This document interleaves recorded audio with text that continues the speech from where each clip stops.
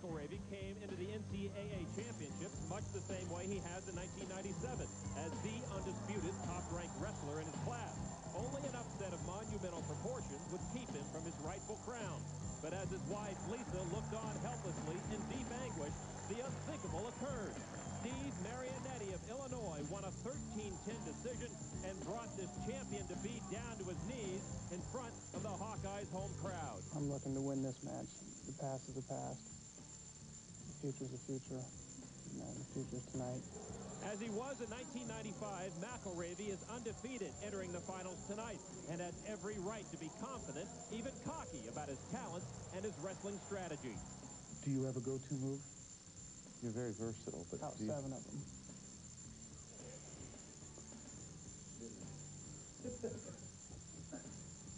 you want to share maybe a few? Now you'll see them.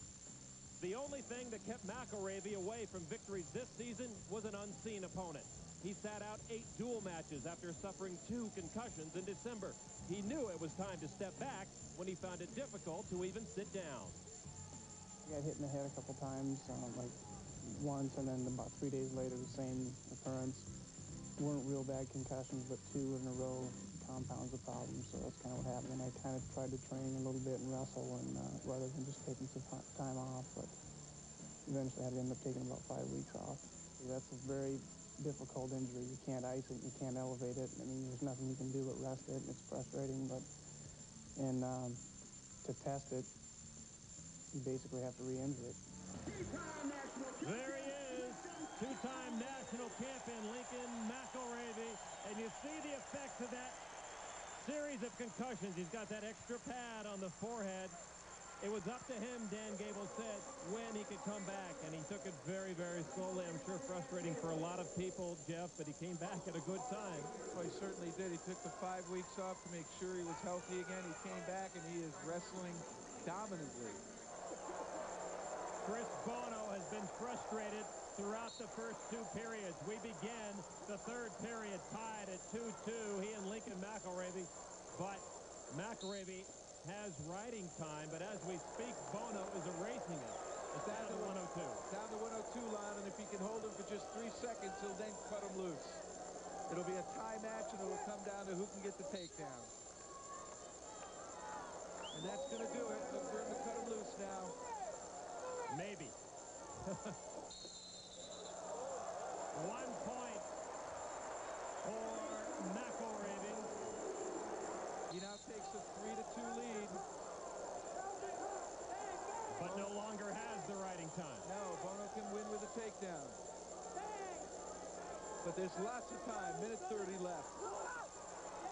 McIlravy unable to get to the legs of Bono.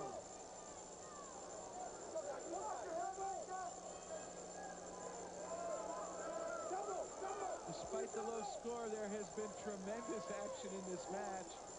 These two have not just stood still.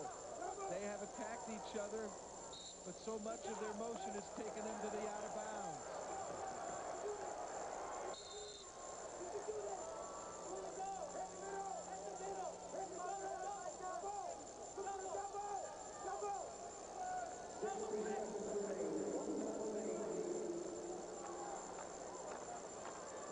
Under one minute to go in the match. Conditioning now so much a part of each of these wrestlers' strategies.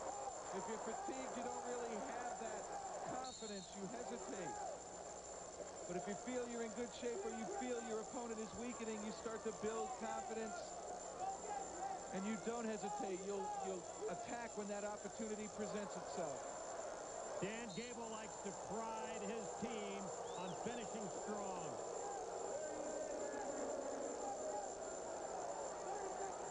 Hands on the hip. You can see Bono breathing heavy. Both these athletes are sweating a lot.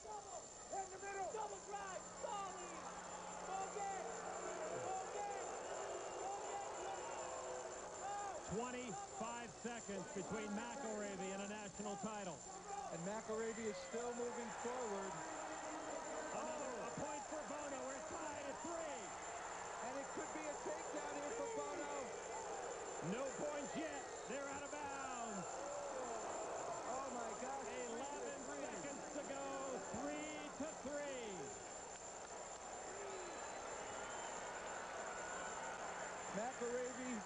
Trying to turn the corner on Bono here, and then Bono turns to face. Back to live to action. drag and get around behind. He was unable to, but he earned a point stalling call against McIlravy. That is not a discard. Three to three. We're going to overtime. And the clocks haven't been running. The clocks have not been Yeah, they running. did. They just reset it. So they'll start this over here. Overtime, a two-minute period. Sudden death. Oh, McIlravy has Bono in trouble here. In on a single leg. Bono does a great job of sprawling out of it. Oh, a great action there. How big was the erasing of riding time that Chris Bono was able to take away from McIlravy? That was the championship right there. Certainly gave Bono the opportunity to extend the match, and he's taken full advantage of it.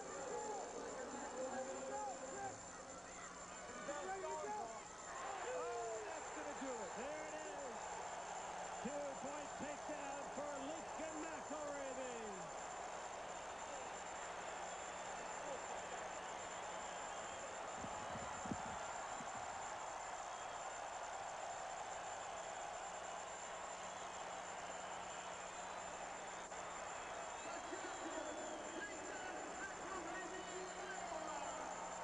Lincoln McIlravy has just become the fifth Iowa Hawkeye to win three NCAA titles.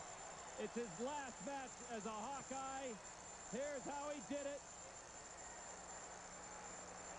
Came through. Bono just got himself in trouble, and Lincoln was able to take him down.